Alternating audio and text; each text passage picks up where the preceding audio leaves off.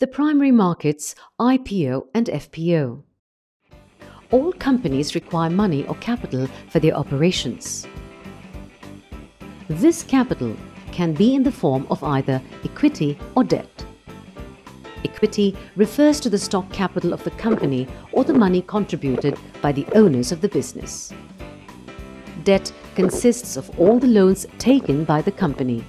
In order to raise capital in the form of equity, the company can approach the public for the sale of its shares.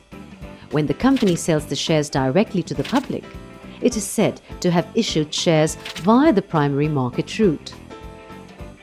The company decides on the price band at which it proposes to sell the shares. In any public offering, both individuals and institutions can apply for shares.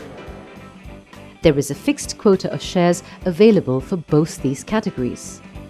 Because of this limited quota, not everyone who applies for shares from a company will receive them. If the company is approaching the public for the first time to sell its stock, it is known as an initial public offering or IPO. If the company is approaching the public a second or a third time to sell its stock, it is known as a follow on public offering or FPO. Both initial public offerings as well as follow on public offerings make up the primary market.